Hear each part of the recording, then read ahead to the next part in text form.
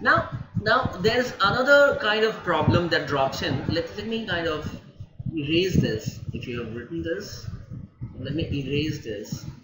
So, so, okay. So let me erase this.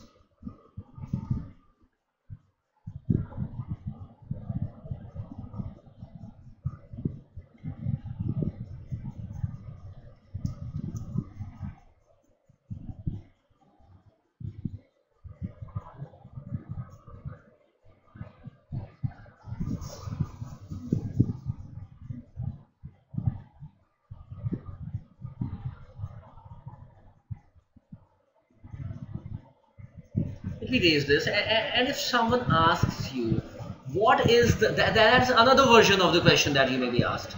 So so what is the what is the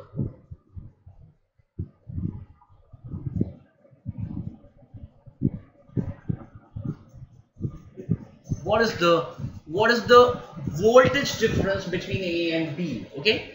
Find find the voltage difference between voltage difference between A and B. So, so they are in effect asking you VAB which is nothing but VA minus VB. So you move from here through this path and and and no not not B let let's say let it be C right let it be let it be C so so so let this be c between a and and c. So so so this is so vac is va minus vc okay so so how do i do that? So you start from va let me let me change the color. Right so you start from from VA and start writing the KVL. So VA, then what happens? Minus 10. I'm going in the same direction as 4 upon 17. Now I'll use the actual magnitude of the current, right? So I'm going in the same direction. That is the actual direction of current.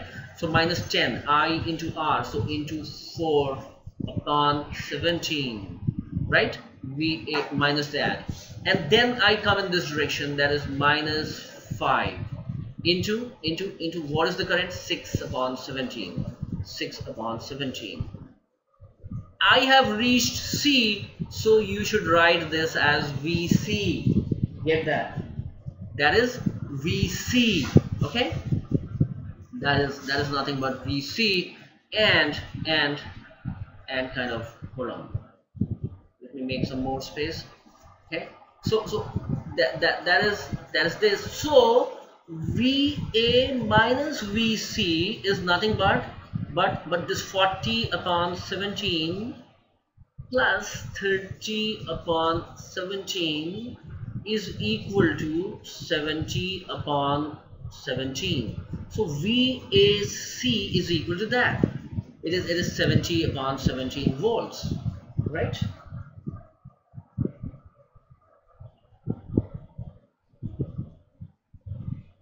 correct? So that's how you you find out. When, when you're not using the Kirchhoff's law and you come back to the point that is how you find out the potential difference between between two points right? So so the question can also be worded like that. And, and this will be asked only when when when you're you're, you're given the you're, you're, given the the voltage that I have removed from here right? Because as you change the voltages it changes. So if, if it's 10 volts it's, it's that right? Get the point